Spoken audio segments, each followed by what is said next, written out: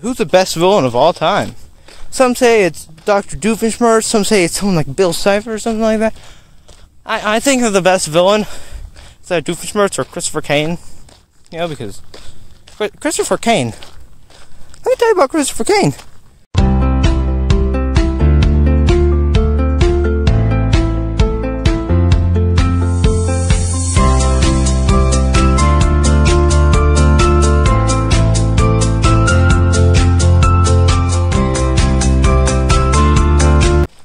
Christopher Kane is not a main villain or anything.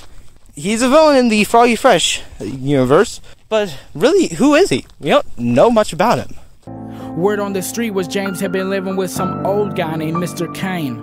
Nobody knew much of anything about Mr. Kane, except that James was selling the stolen bikes right out of the old guy's shed. Well, we know enough about him. You see, Christopher Kane really caught my interest, especially in the song Push Me. And all that I could say was I tried, my mind tried. And when I walked on over to him to pay my last respect, he opened up his eyes like he had risen from the dead. He said, Why didn't you save me? Why didn't you take me and bring me home and get me clean? Why didn't you make me? What could I say to that? I couldn't say a thing. I seen all the pain inside his eyes. I could have stopped. That guy playing the piano there? That's Christopher Kane.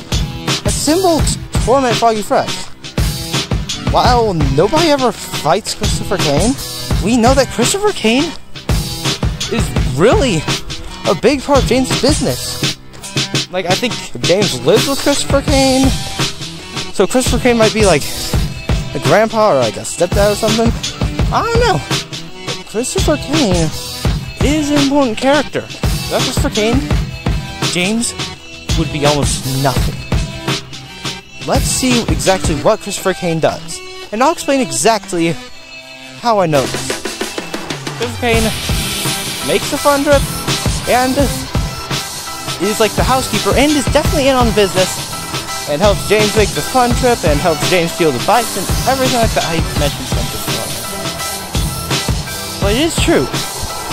How do we know that Christopher Kane makes a fun trip? Well, we see at the beginning of the Stolen Bike 3 music video, we see that kidnapping a child and going down to some guy's basement while creepy music plays and we hear a radio show host like try to figure out how this fun trip is made, and one caller seems to know an awful lot. This caller is named Christopher Kane. That's real at the end of the call. You are the winner. You can come pick up your tickets downtown at the KWH station. Can I please get your name? My name's Kane. Christopher Kane. And in the in in Stolen Bike 3, Froggy Fresh says, Off to old Mr. Kane. Then we headed off to old Mr. Kane's, bumping Dr. Dre about to wreck James Day. Huh. Mr. Kane. Christopher Kane. I was thinking, there's not really enough evidence. I mean, is there really any evidence? Like, maybe this is someone related. I mean, we don't really hear Christopher Kane. Like, I mean, we don't really know if old Mr. Kane is Christopher Kane. I mean, I'm sure they sound alike. Like, I mean, they're definitely related. There's nothing to check. Anyway, so here's the thing, though. In the call, there's a part where Christopher Kane slips up and says that he makes it. And I put him in a blue barrel. And I don't. And they He says, I, they. Mmm, interesting. Cause it's him. And also, how many old Mr. Kane, you? Come on, man.